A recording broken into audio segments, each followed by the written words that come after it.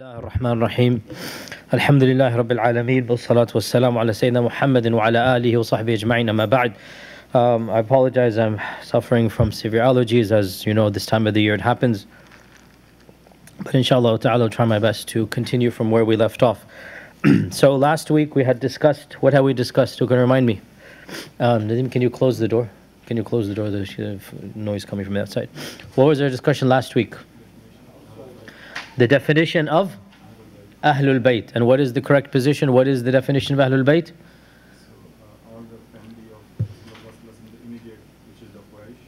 The whole Quraysh? So who? That's the, the question.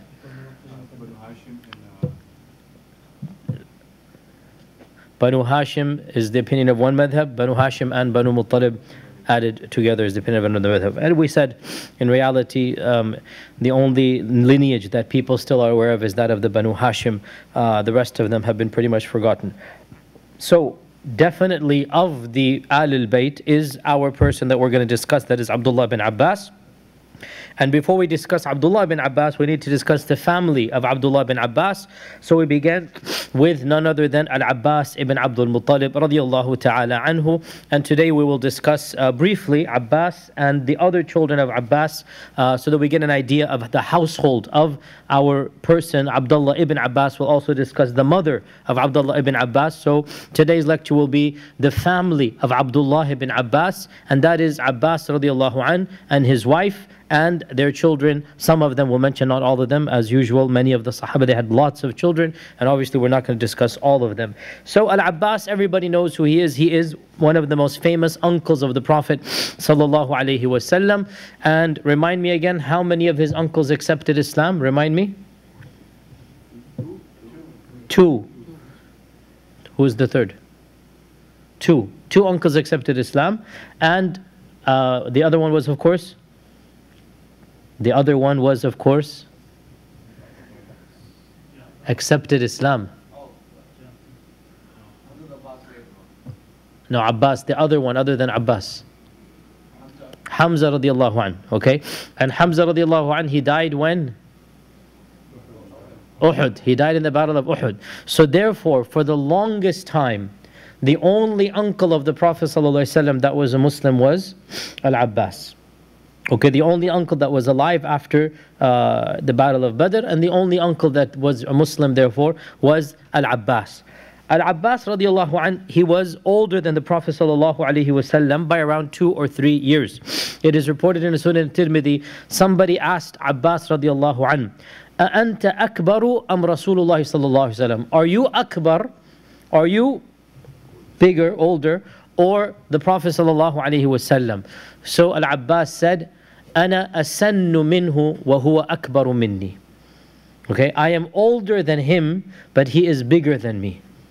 Okay, because the phrase akbar can also mean greater than. So the phrase أنت أكبر أم رسول Al Abbas said, I am older than him, but he is akbar than me. Meaning he has a higher qadr in the eyes of Allah than I do. And Al Abbas radiallahu anhu he, as you know, each of the Quraysh in the days of Jahiliyyah, each of the main tribes, they had a major uh, responsibility when it comes to uh, the uh, Kaaba and when it comes to the pilgrimage. And Al Abbas radiallahu anh had one of the most honorable responsibilities pre Islam, and that is the responsibility of what is called the siqaya. What is the siqaya? The siqaya is to bring the water for the pilgrims, and it was considered to be of the greatest honor uh, to help the Hujjaj and to allow them to drink during the days of Hajj. And in fact, it remained in the progeny of Abbas and the children of Abbas for another hundred years. So after Al-Abbas passed away, his children, great-grandchildren, great-great-grandchildren, they continued this great honor of providing the water to the pilgrims, the Hujjaj, until finally when the Abbasids came to power, we'll come to them inshallah later on, when the Abbasids came to power, then when they were the Khulafa, they said, they felt, oh, this is now, we have to now move on from this one, so they handed it over to another uh, sub-tribe. And it is mentioned that he boasted of this privilege when he was captured at Badr. And when he was captured at Badr, if you remember, Al Abbas was captured as a prisoner of war in the Battle of Badr. And uh, Al Abbas radiallahu anh said to his captors, if you think you're better than us because of your Islam, well, then I am better than you because I fed the water to the pilgrims and I used to take care of Masjid al Haram. Okay, so he said this to his captors that if you, your Islam is better than mine or your Islam is earlier than mine, then I am better than you in that I have given water to the pilgrims and I have taken care of the Hujjaj. So Allah revealed in the Quran a verse in Surah At-Tawbah, which is أجعلتم سقاية الحاج وعمارة المسجد الحرام كمن آمن بالله واليوم الآخر وجاهد في سبيل الله لا يستوون عند الله Do you make the giving of water and the taking care of the haram as the same as the one who believes in Allah and who performs the hijrah and who does jihad, those two are not equal. Those two are not equal. You gave water, they believed, and they emigrated, and they performed jihad. So Allah subhanahu wa ta'ala then um, gently, gently chastised Al Abbas for his statement and said that is not better. La yastawuna indallah. And Al Abbas radiallahu an, before we get to Badr, um, he was a sympathetic non Muslim in the Meccan era. Okay? He was a sympathetic non Muslim, similar to Abu Talib. Similar to Abu Talib. He did not embrace Islam in the Meccan era. And he never did anything to hurt any Muslim. In fact, he did some things here and there that demonstrate his loyalty to the Prophet as an uncle, not as a Muslim, as an uncle. And most importantly, the, in the covenant of Aqaba, which took place with the Ansar, with the people of Medina, when the people of Medina came to Mecca and they said to the Prophet, We're willing to take you, we're willing to bring you back with us. It was Al Abbas who negotiated the details of the treaty. It was Al Abbas who went with the Prophet on the night of Aqaba, the second Bay'atul Aqaba, right before the Hijrah. And it was Al Abbas who said that I speak on behalf of the Quraysh. This is our nephew. We are handing him over to your protection with the condition that you protect him like you protect your own children, your own families, etc. etc. That was Al Abbas. So Al Abbas was representing the Quraysh or at least those who were sympathetic to the Prophet because obviously you had the uh, Abu, uh, La, uh, Abu Lahabs and they were not sympathetic. So Abbas represented the sympathetic bastion of the Quraysh.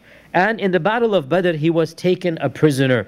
So he fought on the other side. However, the Prophet ﷺ had explicitly mentioned Abbas by name before the Battle of Badr and one or two other people. And he said, When you see them, capture them and do not kill them. Why? Who remembers from the Battle of Badr five years ago we did it? Who remembers? Because they have been forced on the battlefield. They did not come willingly. So the Prophet ﷺ said, When you see Abbas, do not harm him, do not kill him, do not strike him, capture him and bring him. So Abbas was one of the two or three people mentioned by name prohibited to be killed on the battle of Badr. And that is uh, why when the Ansari uh, came who had captured Abbas and he said Ya Rasulullah here is Al-Abbas. I captured him. He was boastful that I have captured Abbas. And the Prophet said Mah, no you have not captured him. Rather it was an angel who uh, helped you to capture Abbas. And Abbas verified that yes Ya Rasulullah there was a person you know on a uh, you know a camel on a, on a, horse and whatnot and he uh, captured me. And then this man took me after that. So an angel uh, basically made sure that Abbas was protected by capturing him and then handed him over to one of the Muslims. And that Ansari brought him back to the Prophet sallallahu alaihi uh, wasallam and when the time came to ransom, when the time came to suggest a ransom, uh, Al Abbas said uh, that, Ya Rasulullah, I'm a Muslim. He said, I'm a Muslim. And the Prophet ﷺ said, What is in your heart, Allah knows. We have to judge by the outer. So even his uncle, he did not take anything other than the outward. He did not believe his uncle outwardly. He said, if, if you are a Muslim, that's between you and Allah. We have to judge on the outer. And what is the outer? You were on the other side and you were fighting us.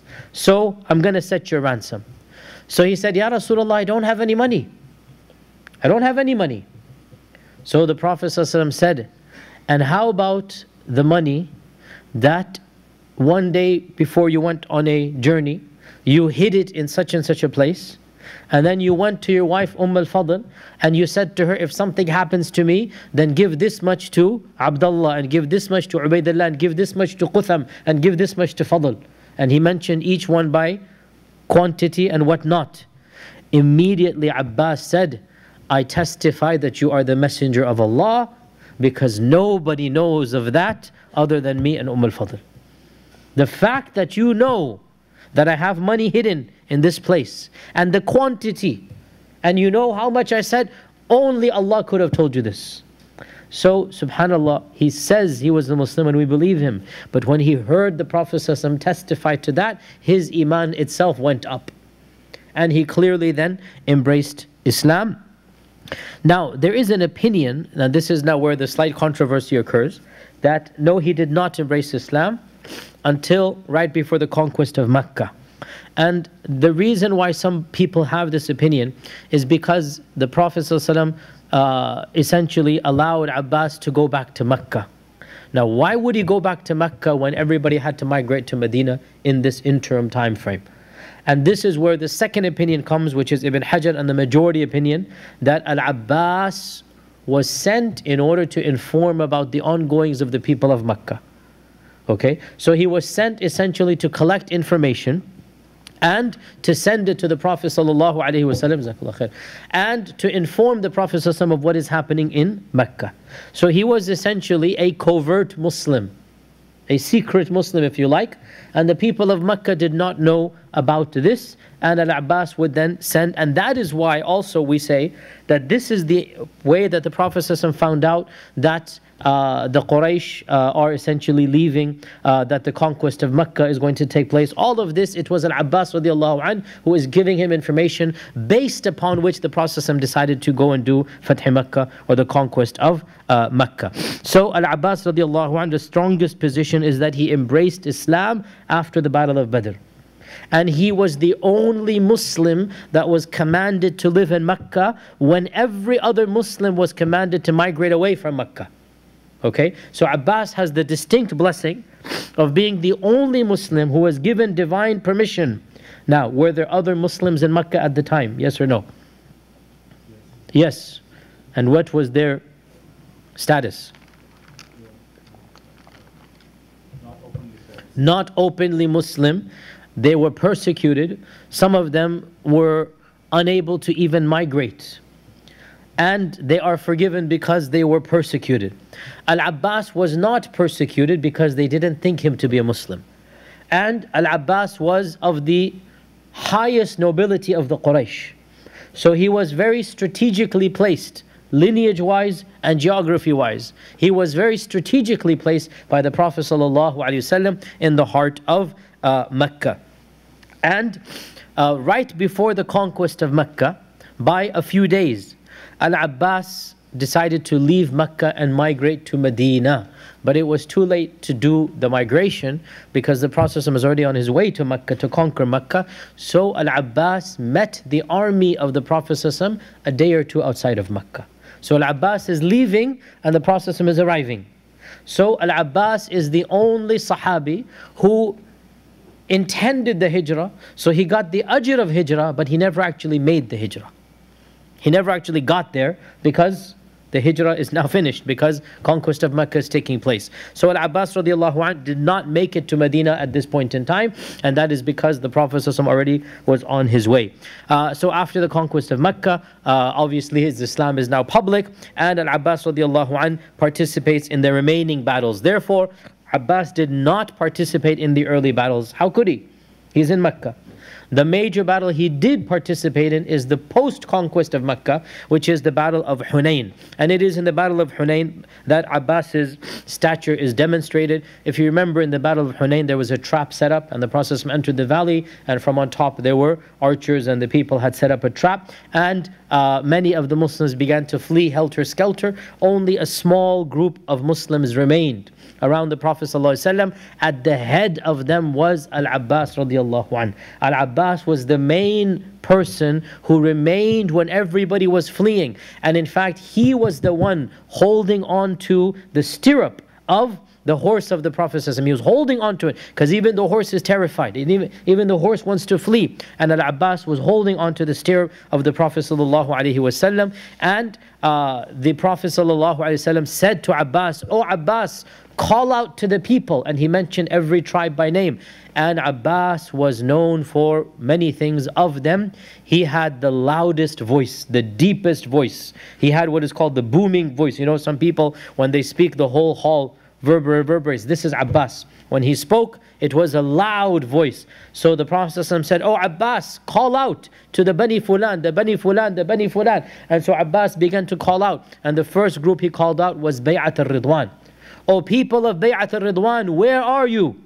And when Abbas said this, the whole valley shook with his voice, and by the hundreds and thousands, the Sahaba began to flock back. And then, oh, so and so, where are you? Oh, so and so. And when they heard their name, they were jolted like with electricity, and they came back to defend the Prophet sallallahu alaihi wasallam. So this is the main. Um, story of Abbas after the conquest of Mecca. Uh, obviously, the Prophet passes away a year or two after that, and we don't have much uh, knowledge about him after that time, it appears he lived a very quiet, very apolitical life. He did not get involved in uh, the uh, controversies that, uh, uh, or the issues that took place, and he was not also given any major political position. He wanted to live a quiet life. After the death of the Prophet ﷺ, at some point towards the end of his life, he became blind. He became blind, and so he spent the last few years of his life uh, not able to see.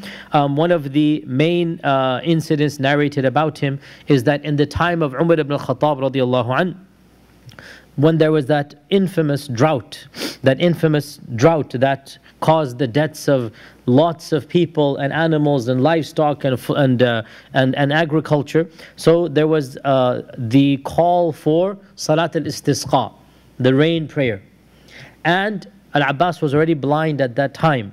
So Umar ibn al-Khattab commanded everybody should leave Medina and pray the rain prayer. And the way that they would do this, they would go to a place outside of Medina. These days is called Masjid al-Ghamama. If you exit from the Masjid of the Prophet on the front side and you walk towards the right hand side, you will see a masjid uh, outside of the marble place. And that is called Masjid al-Ghamama. That is where they would go to pray the Salatul Istisqa. In those days, that was considered outside the city. These days, you're still considered to be inside the haram. You know, you literally just exit the gates that are there, and then that's Masjid al Ghamama over there. So Umar ibn al-Khattab gave the khutbah, the Salat al-Istisqa, and then he said, Oh Allah, and this is a famous hadith that has a lot of theological uh, discussion. Allahumma inna kunna natawassalu ilayka binabiyyika. والآن نتوسل إليك بعم نبيك قم يا عباس وادعو الله أن يسقينا O, Mes o Allah, we used to make tawassul through your Prophet. And now we will make tawassul through the uncle of your Prophet. Stand up, O Abbas, and make dua to Allah that it rains. So Abbas stood up and he made dua to Allah subhanahu wa ta'ala, a sincere prayer that it rained, and it is said that it rained after that point in time. Now, Al Abbas, uh, so what is the theological controversy? Uh, the phrase, we used to do tawassul through your Prophet. What does this mean? We used to do tawassul through your Prophet. And there are various interpretations. What does this mean? But the hadith is very obvious what it means. The fact that Umar is speaking in the past, we used to do tawassul. Then he's saying we can no longer do it. So now we're going to do it through Abbas. And then he says, Stand up, O Abbas, and make dua. So what is tawassul here? Tawassul is to make dua. So it is permissible to ask a living person to make dua for something that you need. This is the tawassul that is permitted. Okay? The tawassul that is the gray area, the tawassul that is the point of controversy, and that's where this hadith is used by both sides to prove and against, is the tawassul by the name of a dead person. So you say, O oh Allah, by the rank of your Prophet, بِمَقَامِ نَبِيِّكَ بِجَاهِ نَبِيِّكَ Right? Uh, I ask you by the status of your Rasul, sallallahu alayhi wasallam. Okay?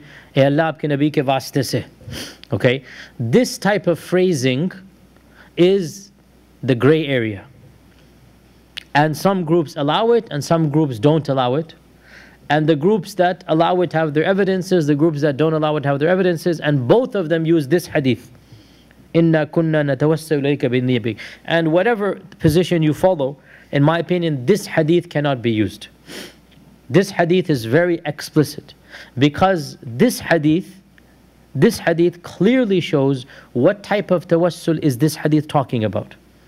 It's not by the name of a dead person. It is by the dua of a living person. Is that clear?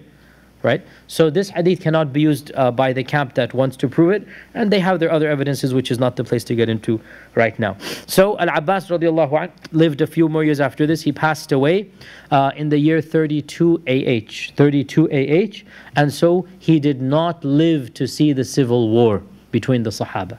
He passed away before the time of the civil war, and he passed away at the ripe old age of 85, radiallahu ta'ala an, at the ripe old age of 85.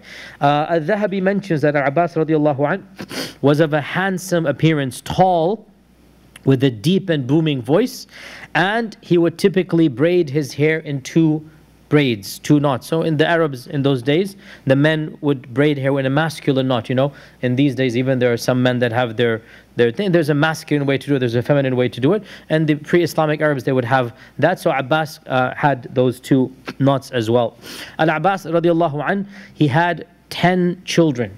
10 children and either three or four wives, either three or four wives. We're not going to go over all of the children. We'll just mention his first wife and his most famous wife and uh, four or five of his most famous uh, uh, children. And of course, Abdullah bin Abbas is the most famous child, and we'll mention him in detail, inshallah, in our next class. Today we'll talk about his family, and then next week we'll talk about Abdullah ibn Abbas. So, Al Abbas uh, radiallahu anh's first wife is his most famous wife, and also one of the most famous Sahabiyat. And our Prophet ﷺ had a very special relationship with this aunt of his, because this is his aunt, right? It is his aunt. And so this uh, uh, she is known primarily by her kunya. So much so that the majority of people don't even know her full name. Her kunya is Umm al-Fadl. Umm al-Fadl. And Al-Abbas is called Abu al-Fadl. Abu al-Fadl. So Umm al-Fadl is her most common uh, nomenclature, but her actual name is Lubaba. Lubaba uh, bint al Harith, and in fact, uh, she's also called Lubaba al Kubra, the bigger Lubaba, because she has a younger sister called Lubaba al Sughra, the smaller Lubaba. But she is commonly known, known as Umm al Fadl. And Umm al Fadl, she appears in the seerah a lot of times, but usually in the background, as is the case with most women in the seerah. They don't have prominent roles, but she is clearly there. And in a number of traditions, we learn that uh, the Prophet ﷺ would visit the house of Abbas and Umm al-Fadl regularly in the days of Mecca. And uh, in the days of Mecca, it was very common, especially after Khadija died, that he would spend the afternoons with Abbas and his aunt, Umm al-Fadl. And in fact, he would usually have his afternoon nap in the house of Umm al-Fadl. Uh, so he, and this is his aunt, he has a very close relationship with her. Um, and uh, it is also mentioned that the first lady to convert after Khadija was Umm al-Fadl. So this is one of those interesting tidbits to ask. Who was the first woman to convert after Khadija? It is Umm al-Fadl, the wife of Abbas. Now, in those times, I shouldn't say in those times, in that time frame, a Muslim lady could be married to a non-Muslim man. So Umm al-Fadl had converted, and Abbas did not convert at this time, and that was fine at that time because only later on was it made haram.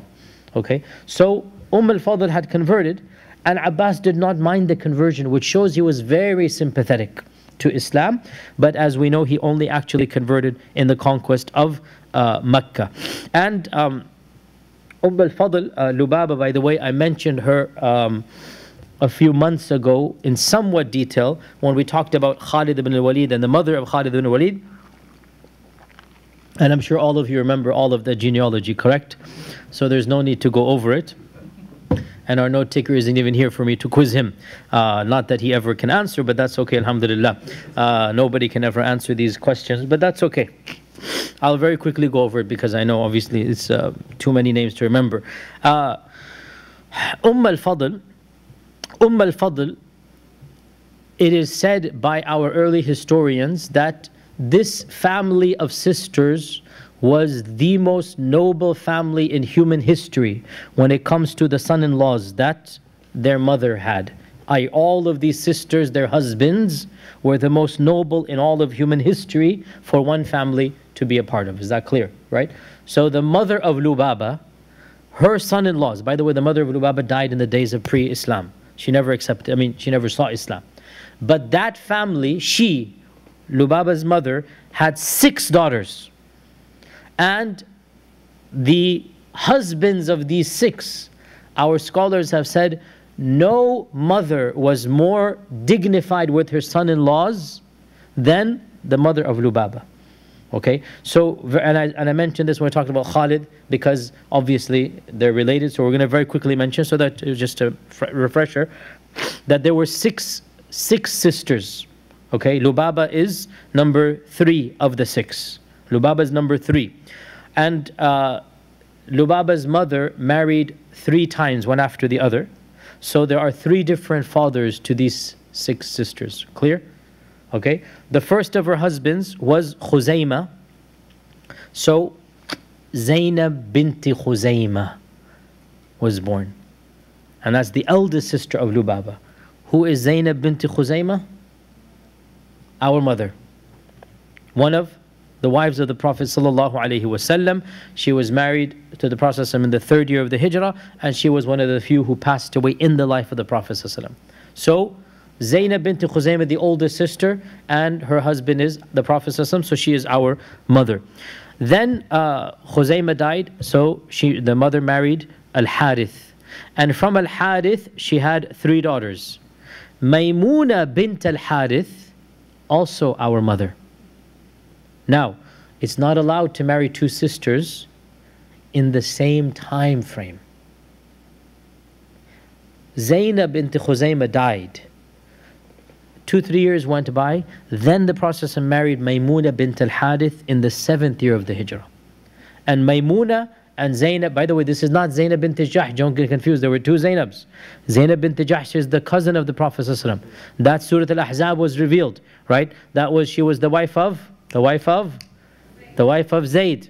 Right? And Allah revealed in the Quran verses that we talked about, that awkward story, we talked about it. That's another Zainab. This is Zainab bint Khuzayma. Her younger sister is Maymuna bint al Harith, and she was one of the wives of the Prophet. ﷺ, and uh, she was one of the last to die as well in the year 51 Hijrah. 51, one of the last of the wives of the Prophet ﷺ to die.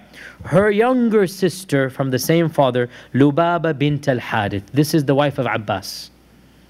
Okay, so the two older sisters are married to the Prophet ﷺ. Third sister uh, is the wife of Abbas, and she was the main wife of Abbas, and she remained his wife throughout her life. She never married any other uh, husband, and she died uh, married to Abbas ta'ala anhu. Now, for some reason that I don't know why, the same parents had another daughter, and they gave her the same name. You know what happens? It's rare, but it happens. Okay, so there was two there were two lubabas. Lubaba al-kubra and lubaba al-sughra. Clear? Lubaba al-kubra is the wife of abbas. Lubaba al-sughra was the wife of al-walid ibn al-mughira the father of khalid ibn al-walid. Okay?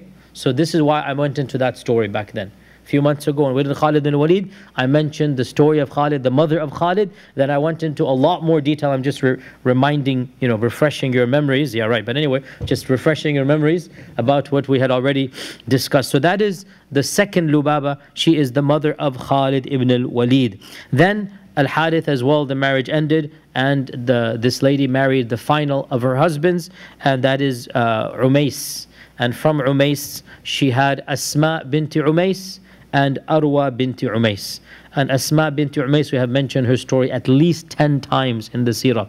And she has so many incidents and whatnot. But the main thing is she married Ja'far, and then she married Abu Bakr, and then she married Ali radiallahu anh, and from each of them she had children. This is Asma binti Umays. So, of the son-in-laws of this lady is Ja'far ibn Abi Talib, Ali ibn Abi Talib, and Abu Bakr as-Siddiq. And then the youngest daughter of hers, Arwa binti Umays, she was the wife of Hamza ibn Abdul Muttalib, and from them they also had children. So just look at this group of son-in-laws that this one lady had, right? The Prophet ﷺ, Hamza, Abbas, and Abu Bakr, and Ali, and Ja'far. And Al-Walid ibn al-Mughira, who was not a Muslim, but he was the most famous chieftain of the Banu Khuzaymah, as you know. Uh, so this is, these are the six sisters. We are interested in number three right now, and that is who? What's her name? Lubaba, and she is known as Umm al-Fadl. Umm al-Fadl is the common name that historians know her by and the people of Sirah know. Umm al-Fadl. Umm al-Fadl. And we said that uh, the Prophet ﷺ had a very close relationship with this aunt and uh, uh, he was a regular at the house of Abbas and uh, his aunt um, Umm al-Fadl. Um, umm al-Fadl, uh, she passed away two years before her husband in the year 30 Hijrah, 30 after the Hijrah. And uh, they had many children. Uh, all of the famous children of Abbas were through were uh, from Umm al-Fadl. He had other children from other wives and they're not as famous. So uh, it is Umm al-Fadl and Abbas radiallahu anh who have the series of famous children. We will only mention four of them and all of them are relatively famous. The, the second one is Abdullah ibn Abbas we'll mention in next week's class. So today we'll mention the remaining three. The eldest son of Abbas and Lubaba is whom? Fadl. Don't you get it? Abu al-Fadl, Umm al-Fadl. The eldest son of Abbas is Fadl. And Al-Fadl ibn Abbas, uh, not much is known about him. Uh, one of his most famous incidents in the seerah. And again, Al-Fadl was not in Medina, remember. Al-Fadl was not in Medina. He was in Mecca with his father.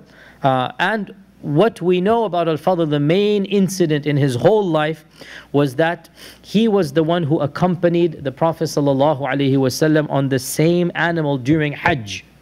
And so he gave us a lot of hadith about Hajj. So when the Prophet was doing Hajj, he took Al-Fadl behind him. Because you know in those days, you didn't have the luxury of having your own animal. You had to share animals. And Al-Fadl was the person who the Prophet ﷺ chose to be behind him. And at this point in time, he would have been a young man, um, probably 17 or something, like at the prime of his youth now. And so we have so many ahadith about Hajj because of Fadl, because he said the Prophet took me behind him when he went on the camel during uh, the Hajj. And Al-Fadl passed away a year or two after the uh, death of the Prophet fighting uh, in, uh, he died as shaheed in Ajnadain, the battle of Ajnadain, remember the conquest of Syria. Uh, he died in Ajnadain and uh, he is buried over there. The second son of Al-Abbas is our person, Abdullah ibn Abbas, I will mention him next week. That's the second son. So Abdullah ibn Abbas is not the eldest, he is the second eldest son. The third eldest son is Ubaidullah ibn Abbas. Ubaidullah ibn Abbas. And Ubaidullah ibn Abbas was one year younger than Abdullah ibn Abbas. One year younger. And therefore, when the Prophet died, he was probably around 12 years old. 12 years old. So he's old enough to remember and to narrate hadith. And we have a handful of hadith from Ubaidullah ibn Abbas. Ubaidullah, when he grew up, he became a very successful businessman, very wealthy businessman, and he was one of the most generous of all of the Banu Hashim. It is said that he would sacrifice every single day a camel to feed anybody who wanted food. That is an immense amount of wealth. Every single day, he would sacrifice a camel and have just an open uh, buffet. You know, just, you know how rich people sometimes, they just feed the poor. Just have an open, whoever wants to come and eat. And it is said that um, Abdullah ibn Abbas, our guy, said to his younger brother, don't do this. Don't, don't spend so much money. Every day you are feeding, uh, like one camel is a lot of money. Don't do that. So he wanted to obey his older brother, but he still wanted to feed the poor. So what did he do? His brother told him, don't sacrifice a camel. He began sacrificing two camels every day to get out of that. That, okay, I'll obey my brother. He said, don't sacrifice a camel. I won't sacrifice a camel. I'll sacrifice two camels now. So from then on, he sacrificed two camels every single day uh, till he died. And um, our historians have said that whoever wants to see, uh, sorry, they said, the household of Abbas has been blessed with everything beauty, knowledge, and generosity. Whoever wants to see beauty or handsomeness, let him go to Al Fadl, the eldest. Whoever wants to see knowledge, let him go to Abdullah ibn Abbas, and that's what we're going to discuss next week. And whoever wants to see karam, generosity, let him go to Ubaidillah. So, handsomeness, jamal, ilm, and karam. It's all in the household of Al Abbas ibn Abdul Muttalib. And there's a, a, story narrated about him in the ancient books of history. Ibn Kathir and others narrate a very beautiful story. That one day, uh, Ubaidillah was traveling on one of his business trips, journeys, and he had his servants and whatnot with him, and he's in the middle of the desert. And he sees the tent of a Bedouin in the middle of the desert. And he uh, introduces uh, himself, but not as the Banu Hashim. He simply says, I am a traveler, traveling. May we spend the night in your tent. Because it's cold, it's whatnot, may we spend the night in your tent. So the, the Bedouin did not recognize who is this man. But he said to his wife, We have a noble guest tonight. What do we have to feed him? And his wife said, You know, we have no food. He said, Absolutely nothing. I mean, this is a noble guest. Let us give him honor. Let us honor him, even though he didn't recognize this is the cousin of the Prophet. So the wife said, We only have a goat left, and you know how much our daughter is attached to that goat. Don't kill the goat, or our daughter is going to be heartbroken that you know you killed the goat. But he said, We must because this is an honorable guest, and we have to give our last goat to feed this guest of ours. So he did not realize that. Uh, Ubaidullah ibn Abbas was able to hear. He did not realize that their conversation was overheard by Ubaidullah ibn Abbas. So they sacrificed the goat and they fed Ubaidullah ibn Abbas. The next morning when they went to leave, Ubaidullah said to his servant, How much money do we have? He said, We have 500 dinars, 500 gold coins. So Ubaidullah said, Give him the whole package. Leave nothing. The servant said, O master, he gave you one goat that's worth two, three coins. And you're going to give him 500 coins? Just give him a few. He'll be more than happy. And Abba, uh, not Abbas, Ubaidullah said that, uh, woe to you. Don't you realize that he has been more generous than us? He has given everything of his. And I'm only giving him a fraction of mine. Like he was, mashallah, he was very rich. So he said, Don't you realize he has outbeaten us? He gave everything of his, and I'm just giving a bit of mine.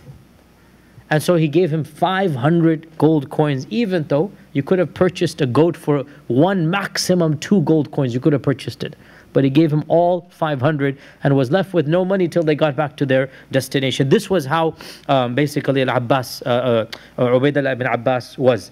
And Ubaidullah lived a long life and he passed away uh, in the early time of the uh, Umayyad uh, Khilafah. So he lived to see Muawiyah and some even say Yazid and he lived until the time of Yazid uh, radiallahu ta'ala anhu. The final son that we'll mention, there are more sons than this, but we're only interested in four of them. And all four are children of Umm al-Fadl. Okay, all four children of Umm al-Fadl. The final son, the youngest son that we'll mention is Qutham. Qutham. And Qutham, we have mentioned him before. Can anybody remember? When did we mention Qutham? We mentioned him before. Qutham was one of the four people who washed the body of the Prophet ﷺ. So he gets a very special honor. Very special honor. Actually, there were five people. There was a servant as well. But it was Abbas uh, and Fadl and Qutham and Ali radiallahu an. These were the four main people, along with Shukran, the Mawla of the Prophet who washed uh, the body of the Prophet and Qutham uh, at this point in time, he was probably eight years old. They did not treat eight year olds old the way that we do. They have to be made into men. And even though he was eight, he was in the room and he helped turn the body of the Prophet. Obviously, he would not have done it by himself, he's too young to. But Fadl and Qutham and Abbas, radiallahu an, they were the three who were holding the body, and, and uh, Ali radiallahu an was the one uh, washing the body of the Prophet, and Shukran was. Uh, pouring water on the body of the Prophet sallallahu alaihi wasallam, and Qutham, it is said that Qutham out of all of the children of Al-Abbas, he looked the most like the Prophet sallallahu wasallam. He looked the most like the Prophet sallallahu wasallam. From the Banu Hashim, there were four in particular who were said to resemble the Prophet ﷺ almost identically. The most resembled of, uh, of all of the Sahaba were who? Who can tell me? That's number two. You're missing the most obvious. The most obvious. Young Sahabi. Hassan radiallahu anh. Hassan.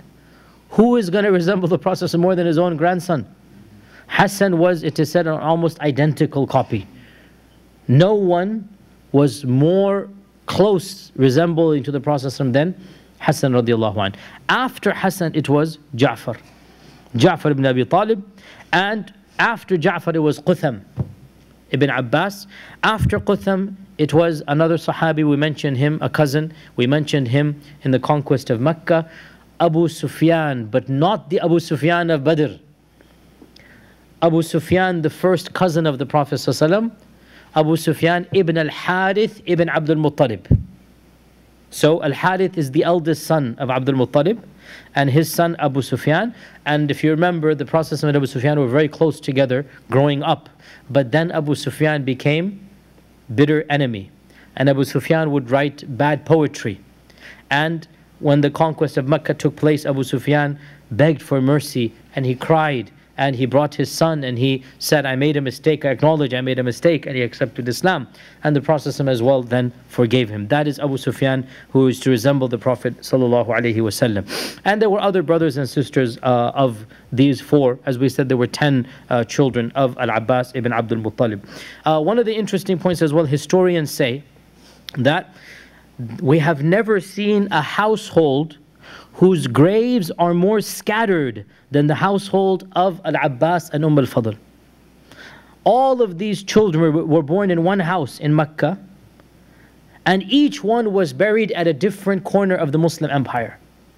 And this shows you how Islam was spread. This is the classic example of how Islam was spread. None of them were buried in Mecca. The oldest, Al Fadl, we just mentioned where he died. Ajnadain in the conquest of essentially Ajnadain opened the door for Jerusalem. The conquest of that region. Abdullah ibn Abbas, who knows where he is buried? Ta'if. I have visited the grave in Ta'if. It's a masjid, Masjid ibn Abbas. And right next to the masjid there is a grave. So Ibn Abbas died in Ta'if. And that when we'll get to his story, he wanted to flee from the internal warfares because he lived to see it. He did not want to participate. So he went to Ta'if, which was a quiet city. He was from Mecca, but when all of these fitan happened, he wanted to go underground. He did not want to be prominent. So he moved to the neighboring city of Ta'if, where he is buried to this day. So that is Ibn Abbas. The third, Ubaidillah, that we just mentioned, he died in the peripheries of Yemen. So from Syria, we get all the way to Yemen. Qutham died as a shaheed in the ma'raka of Samarkand. Way over there, Samarkand, beyond Afghanistan. Abdul Rahman, another son, died also in Syria. And Ma'bad, another son, died in essentially what is now Libya or something. Right? So look at the geographical regions where each one of these sons is buried, and you get the peripheries of the Muslim empire along with the center Ibn Abbas, which is Ta'if basically next to Mecca. And this shows us how Islam was uh, spread. Now, Abbas radiallahu an, uh, there, are a number of traditions by him and from him. There are many blessings narrated about him. And of them is that uh, once somebody irritated Al Abbas radiallahu anh, and he came to the Prophet and, and the Prophet could recognize that he was irritated. And he asked him what had happened. So the Abbas told him all that had happened. So uh, the Prophet then said, Al Abbasu minni wa ana minhu. I am from Abbas and Abbas is from me. In another version of the hadith, he said, Don't you know that the am of a person is the same as his ab? So we have two beautiful hadith, you should memorize them. Al khalatu bi manzilat al um, you know, uh, and al ammu sinwu al ab. Okay, the khala, who's the khala? Mother's sister. Is like the mother. That's what our Prophet said. Al khala bi manzilat al um. And in this hadith, he said, Al am, who is the am? The father's brother. The father's brother is sinwu, which is similar to, is the same level as the father. Okay, so here also we see one of the reasons why our Prophet would respect Abbas so much. It was the last remnants, the link between him and his father. So this is the sin, this is the um, uh, my the equivalent of my father. So whoever makes him angry has made me angry. So this is the maqam that our Prophet gave to Al-Abbas. In another hadith he said, whoever irritates Abbas has irritated me. Whoever irritates Abbas has irritated me. And Al Abbas radiallahu anh did not narrate that many ahadith. Uh, he was a quiet man when it came to narrating hadith. We have a few hadith of his, one hadith only in Bukhari, two or three in Muslim, and in Musnad Imam Ahmad we have only five or six hadith uh, of Abbas, not that many ahadith of Abbas. Now, one of the interesting things about Abbas uh, radiallahu is that, of course, the most famous dynasty of Islam is named after him and that is the Abbasid, the Banu Abbas. And the Abbasid dynasty is the longest ruling dynasty of Islam. No dynasty ruled for longer than the Abbasids, from 750 to 1258 CE. Memorize these dates 750 to 1258 CE. And it was Abbas's great great grandson whose name was As-Saffah, who founded the dynasty. And then As-Saffah died and his brother Al-Mansur took over. And from Al-Mansur you get the whole lineage of the Abbasid dynasty. So all of them, Harun al-Rashid and Al-Amin and Al-Wathiq and Al-Ma'mun, all of them are direct descendants of Abdullah ibn Abbas radiallahu anhu. So all the khulafa are literally the lineage of Abbas radiallahu anhu. That's why they are called Abbasids, the Banu Abbas. And there is no denying that one of the main golden eras of Islam was the era of the Abbasids. Now, pause here. Some people get very emotional. How can you say this was the golden era? The Sahaba was the golden era. There's no question the Sahaba was the golden era. There's no doubt about that. In terms of Iman and Taqwa and piety and ilm, in terms of Zuhd and Ikhlas, everything. So we're not talking about the Sahaba, there is no competition with the Sahaba. So, apart from the Sahaba, because there's no competition, they're not in the competition, aslan. You cannot compete with the Sahaba. Apart from the Sahaba, when did Islam flourish? Apart from the era of the Sahaba. There is no question that the greatest flourishing of Islam after the Sahaba occurred in the time of the early Abbasids, especially. The later Abbasids kind of sort of, you know, plateauing and then going down, but the early Abbasids. This is the era of Harun al Rashid. This is the era of Islamic civilization flourishing. All of the Islamic sciences, the madahib basically, the books of hadith, uh, the, the, the, the, codes of law, uh, the Arabic language being codified, uh, calligraphy, the recitations of the Quran, qira'at. So Islamic sciences, secular sciences.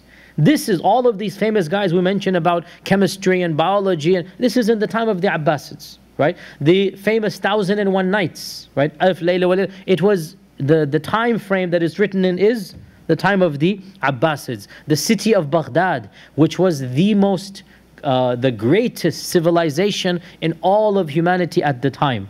A million people living in a city at a time when London had 5,000.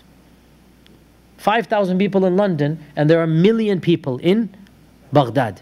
You have lights at night. The lanterns were lit in Baghdad. And again, we can go on and on and on. So the reality is that, you know, from, from the angle of Islam as a civilization, there's no question it was under the children of Abbas radiallahu an that Islam reached the pinnacle of its civilizational glory after the time of the Sahaba. Now, 1258, what happened in 1258 that the Abbasids came to an end? 1258, what happened? Mongols. Genghis Khan, Genghis Khan. Okay, Mongols came and they destroyed the Abbasid Caliphate. However, interestingly enough, the Abbasid Caliphate did not fully come to an end. When the Mamluks destroyed the Mongols, and the Mamluks were ethnically non-Arabs, the Mamluks were non-Arabs. They were actually somewhat Russians, you can say, Circassians, Russians. They were like a different group. I mean, they're neither Russians nor Turks, but they're basically a group from up there. So the Mamluks wanted to be the Khulafa, but they realized the Muslim Ummah would not accept us. So what did they do? They installed the Queen of England. What do I mean by this? A figurehead. A figurehead. They installed a figurehead and it is literally called the shadow caliphate. That's the term given to it. The shadow caliphate. And they found one of the living, because the Mongols massacred all of the Abbasids, the immediate family, but obviously the family is massive, it's large by now. And so they found one of the distant cousins and they installed, so he's a direct descendant of Abbas, obviously, and they installed him where? Where?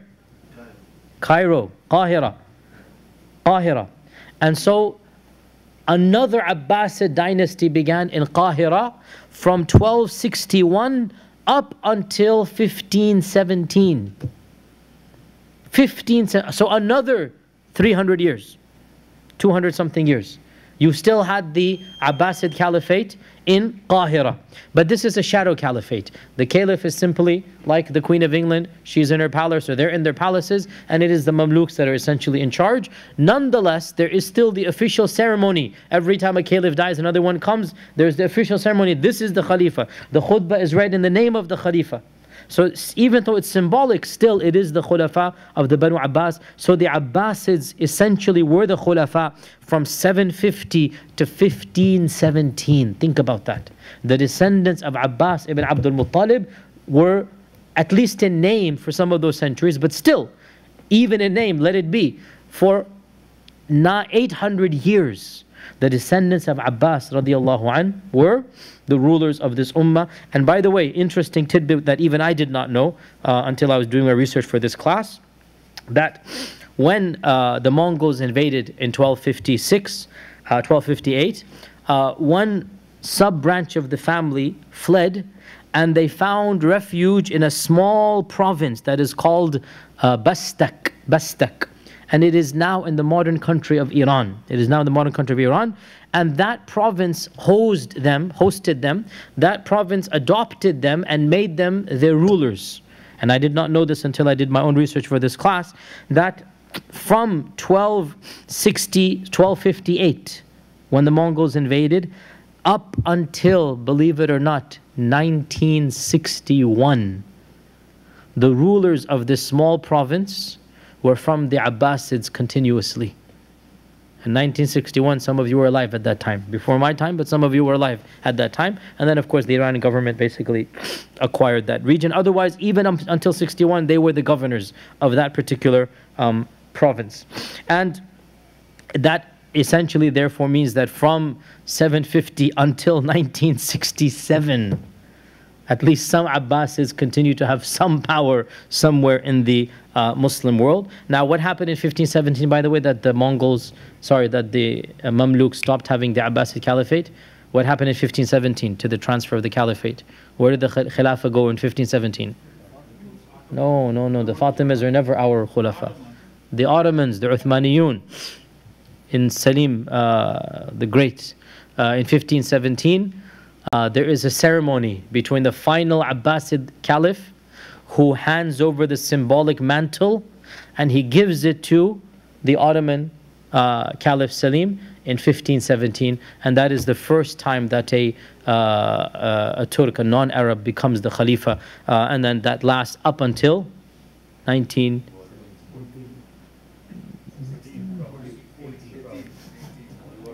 Is 21. We still have people alive that were born at that time. Subhanallah. Think about how recent that is.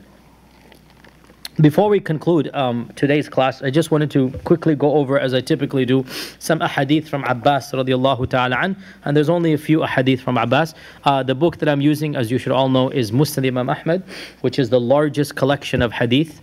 Uh, uh, as we know, Imam Ahmad collected all of the hadith, and what's uh, interesting, as we know, how did he arrange the hadith, Imam Ahmad? By who?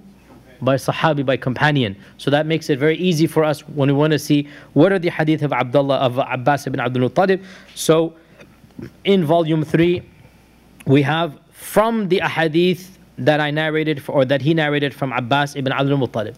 And we have many, but we're going to do only some of them. So it's very interesting. This is one of my favorite hadith from Abbas, and it really shows um, what Abbas radiallahu anh is, is, is, is thinking about. This hadith is also in Sahih Muslim. Al-Abbas ibn Abdul Muttalib narrated that one day I said, O Messenger of Allah, your uncle Abu Talib used to protect you, and he used to do this, and he used to do that. Were you able to benefit him in the hereafter? Before I answer the question or go on, isn't that a beautiful hadith? Because who is Abbas to Abu Talib? Brother. They're full, they're not full brothers, but they're half brothers. Half brothers, right? So Abbas is concerned about his brother. Your brother Abu Talib. He did so much for you. He protected you. He defended you. Were you able to do anything for him in the akhirah? And our Prophet said, Yes, I was. إنه في ضحضاح من النار ولولا أنا كان في الدرك الأسفل. Because of me, he is in the peripheries of Jahannam. And otherwise, he would have been in the lowest depths. I've managed to make the punishment much less. Dahda in the fringes. Otherwise, he'd be in the pit of the fire of hell uh, the hadith that the only hadith that is narrated in Sahih Bukhari of, of, of Abbas, Abbas, the only hadith that is narrated in Sahih Bukhari, so it's the most authentic hadith of Abbas radiallahu an, is the famous hadith that is used in fiqh, that the Prophet Abbas narrated that the Prophet sallallahu alaihi wasallam said, when a person does sajda, seven things must do sajda with him: his face, his two hands, his two knees, and his two feet. This is a fiqh hadith and uh, Abbas is the one narrating it, and it demonstrates that, excuse me, when we do sajda, we must have seven body parts touching the ground. If we do not have seven body parts touching the ground, that is not uh, sajda. Uh, and then the last hadith from Abbas, and there's a few more, but these are the main ones I wanted to do. Excuse me. The last hadith we'll do. Uh, Ali ibn Abdullah ibn Abbas came to us for Hajj the narrator is saying. And I said to him, narrate to us a hadith. So he said, my father Abdullah ibn Abbas narrated from his father Abbas. So there's a family chain, mashallah, right? It's a family chain. So this is the grandson of Abbas narrating the hadith. That one time he came to the Prophet sallallahu alaihi wasallam and he said, O Messenger of Allah, I am your uncle and I am old and I'm about to die. So teach me something that will benefit me. What a beautiful hadith again, right? I'm coming to you because I'm your uncle and I'm old and I'm going to die. Meaning, I'm, oh, now, now, how did he know the Prophet would die before him? He thought he's going to die first.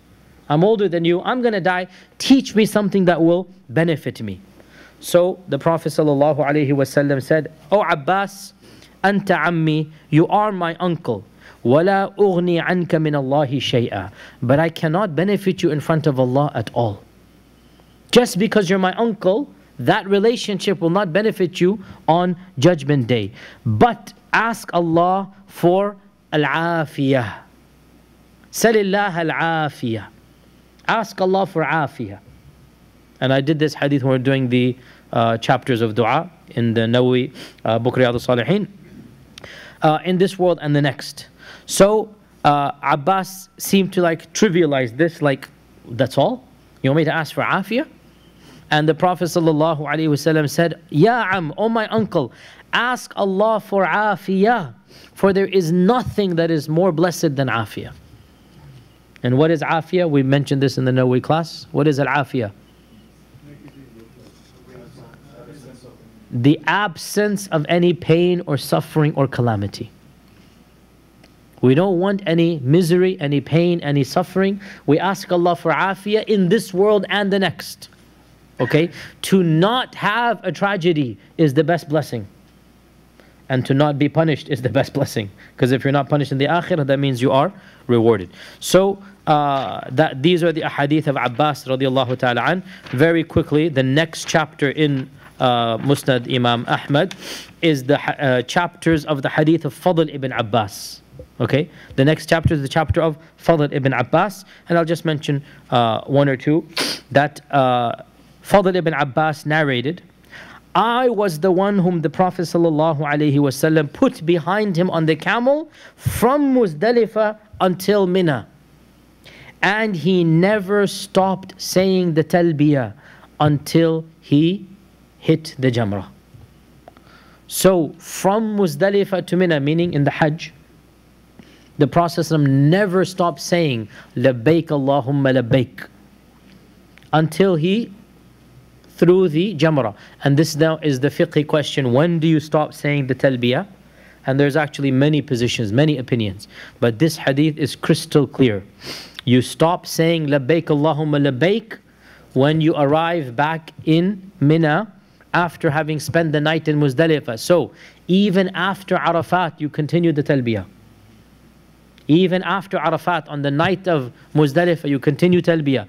On your way to Mina, you continue talbiyah. Then, when you throw the first stone, and on the 10th, you only throw the first pillar, right? You only throw one pillar. If you haven't done Hajj, then start planning from now. By the way, I'm going for Hajj this year as well, by the way. Just put a plug in there as well if you want to come, inshallah ta'ala. But even if you don't come this year, make sure you're planning for it because Hajj is getting more and more expensive, by the way. So, don't set it aside, put it in your plan from now, whenever you can go for Hajj. So when do you stop doing the talbiyah? As we said, is when you uh, throw the first uh, jamrah. And the other hadith, majority of them are about Hajj and what was done during Hajj. And we'll just do one more hadith uh, from the youngest brother of Abbas uh, that uh, narrated from the Prophet uh, sallallahu alaihi wasallam. Um, uh, sorry, not the English. Hadith Ubaidullah ibn Abbas. Hadith Ubaidullah ibn Abbas. So this is Ubaidullah, the one that we just mentioned, the generous one. Hadith of Ubaidullah ibn Abbas. And by the way, the rest of the book is the Hadith of Abdullah ibn Abbas, and it goes on to the next chapter. So Abdullah ibn Abbas narrated of the most hadith out of all of the Sahaba, the top five, Abdullah ibn Abbas is amongst them. Okay? So the other siblings, two, three, and Ubaidullah ibn Abbas, one hadith. Look, the chapter is just one. The chapter of Ubaidullah ibn Abbas. One hadith, that's all he has. That's all he narrated, and that's all that is preserved. It is Abdullah ibn Abbas who is the scholar of the Ummah. The hadith of Ubaidullah ibn Abbas is a little bit fiqhi issue, um, but um, I'm not going to translate it, but the, it goes as follows that. Um, as you know in Islam, a lady uh, and a man, once they have divorced three times, they're not allowed to get married, correct? You know this fiqh issue, right? Once the three triple divorce has taken place, what must happen in order for the marriage to take place again? She has to marry another man, okay? So this issue is what this hadith mentions. So the lady was triple divorced and she had to marry another man. So she married another man but refused to be intimate because she wanted to go back to the first one. So it was a type of trickery, and that's not allowed in Islam. And so the complaint came to the Prophet ﷺ, and the Prophet ﷺ said, Are you trying to go back to the first one? La, that's not going to happen. Means you don't want to be a wife to him, you married him. You cannot now say, I don't want to be a wife. That doesn't, you can't, that, that, you can't have it that way. And then the hadith says that basically, I mean, I'm not going to translate it because it will require 10 minutes of explanation, but the gist of it is until you consummate the marriage, then there's a legitimate talaq, then you can, after the iddah, go back and marry the first one. You cannot play games with the Sharia, have a fake marriage contract, just get a marriage done. No, the game that doesn't work that way. Okay? So the marriage must be consummated. This hadith is Ubaidullah ibn Abbas hadith. That you cannot just have a fake marriage contract, so it must be a legitimate marriage. So, by the way, what this means is you cannot have a fake marriage. And a fake marriage is batil in the eyes of Allah, even if in the eyes of men it is accepted. Meaning, if your niyyah was, oh, I'm just having this fake marriage, right? Just to get them back, or get her back, or get him back, right? If that was the niyyah, in the eyes of Allah, doesn't work that way. You must marry a genuine marriage, a real marriage. And then an issue must arise in that other marriage that doesn't work out. And then after the talaq and iddah, if you want to, then you can go back to the first husband. Okay, so this hadith is the main hadith that is used, Ubaidullah ibn Abbas, to demonstrate that that second marriage must be a legitimate marriage. And if there's to be a fake marriage, it will not be accepted in the eyes of Allah. That's from Ubaidullah ibn Abbas. So inshallah, with this we have come to the conclusion of uh, today's lecture. Next week, inshallah, we have done all the preliminaries. We will dive directly into Abdullah ibn Abbas, who is one of the most fascinating of the uh, Sahaba and the Habr of the Ummah and the Tarjuman al-Quran. Any quick questions before we uh, conclude for today?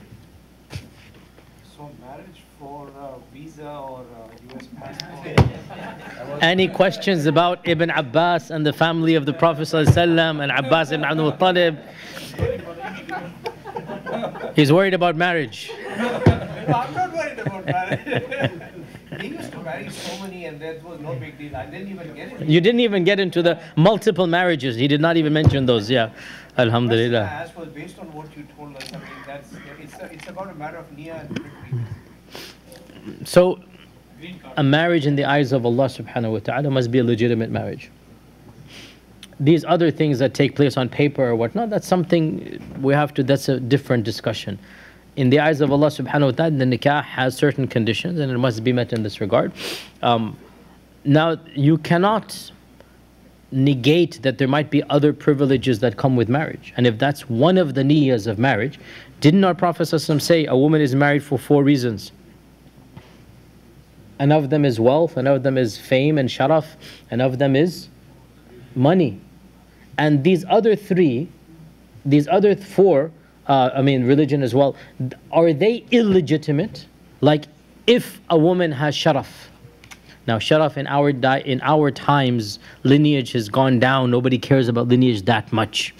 Nobody, unless the family is. So imagine if again, in the American context, if the family is the Kennedy, for example, right?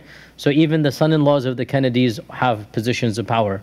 Okay, um, and there are many people uh, that are famous in politics. They're married into old families, and they became famous in politics, right? So that's you're marrying.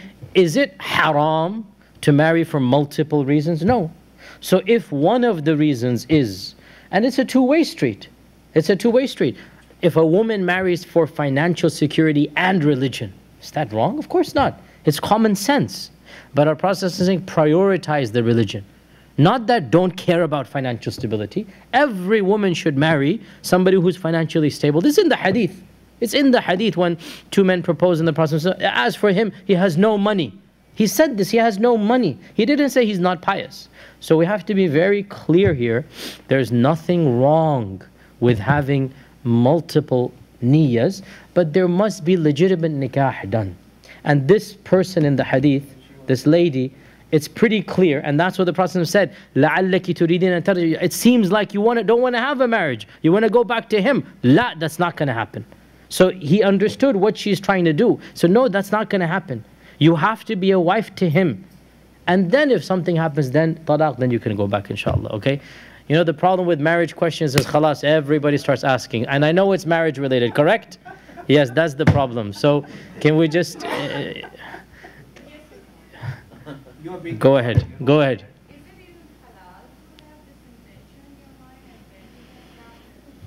No, it is not halal to marry a person that has been triple divorced for the niyyah, for the niyyah to make the previous marriage permissible.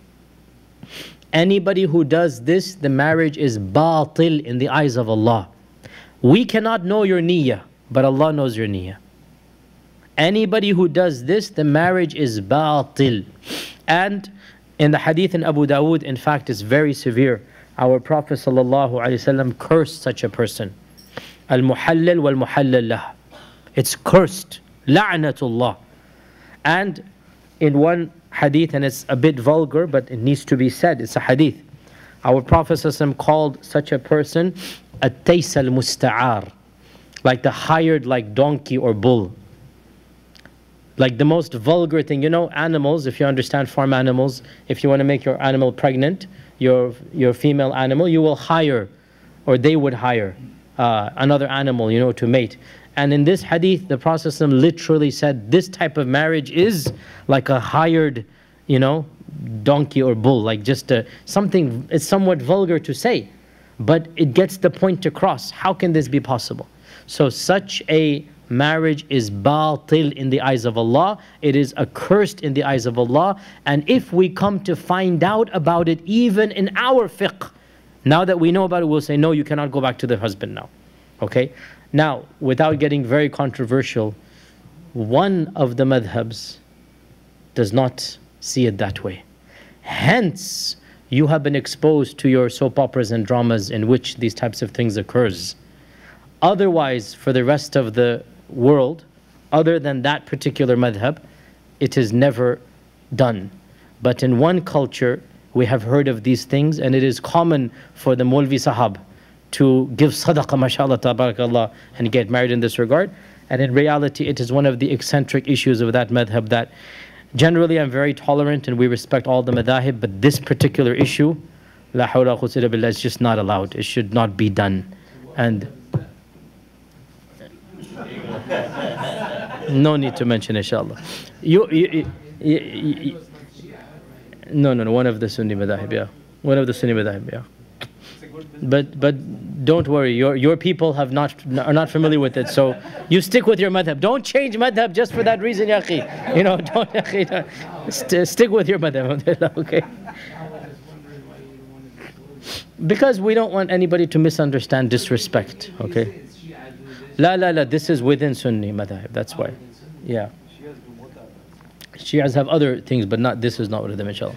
Inshallah, with this we conclude. We'll continue next uh, Wednesday.